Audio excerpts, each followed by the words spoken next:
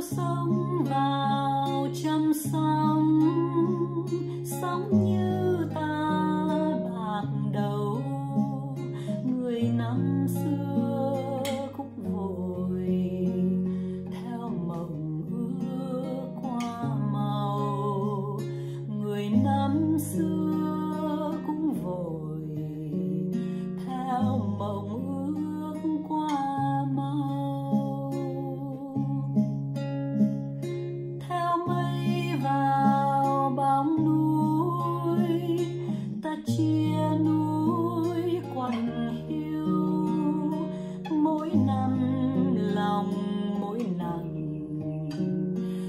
which is on